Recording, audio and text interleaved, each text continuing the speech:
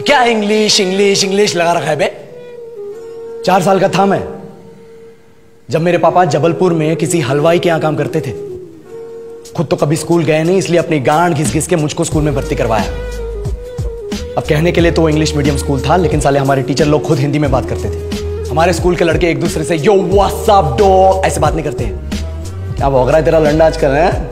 ऐसे गले मिलते हैं। किसी तरह रट्टा मार मार के मार मार के टेंथ तक पहुँचे तो पता चला कि ज़िंदगी में सफल होने के लिए एक ही तरीका है, और वो है इंजीनियरिंग सब यही कहते थे। माँ बाप टीचर लोग, गली का वॉचमैन भी हमसे पूछता था, और भैया, कैसी चल रही है आपकी तैयारी? भग बेंचो तुमको क्या करना है? इसलिए हमारे स्कूल के बच्चे हम सब पहुँच गए।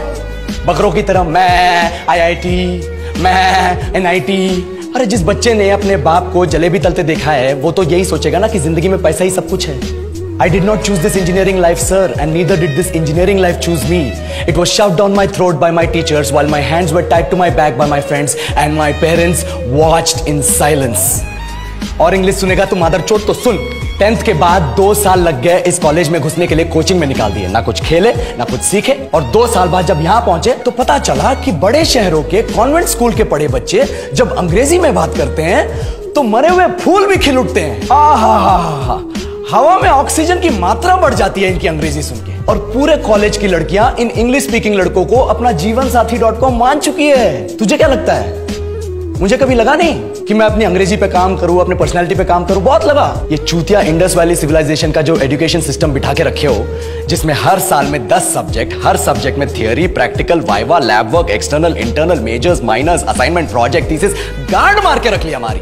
महीनों तक नहाना भूल जाते हम लोग और फिर हमारा परसेप्शन बना देते हो कि हम ऐसे ही रहना चाहते हैं। अब, साल में एक बार कल्चरल फेस्टिवल आता है, एक बार। उसके लिए भी प्रोफेसर से भीख मांगनी पड़ती है। अरे, बिना इंग्लिश बोले, बिना लड़कियों से बात किए, कौन गांडू रहना चाहता है वैसे? पर टाइम कहा है कुछ सीखने के लिए? लगे पड़े कोडिंग सीखने। तीन तीन लैंग्वेज सीख रहे हैं अलग अलग इंग्लिश छोड़ के। लेकिन जब प्लेसमेंट्स की बात आई तो सबको एप्टीट्यूड चाहिए।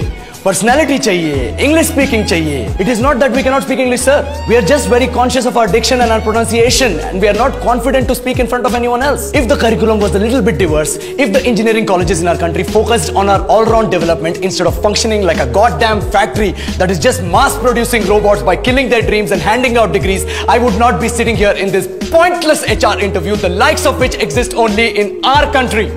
Yellow sir, बोल दिया मैंने चार और लाइन अंग्रेज़ी में। अब बताइए, क्या मैं आपके मल्टीनेशनल कंपनी के लायक हूँ?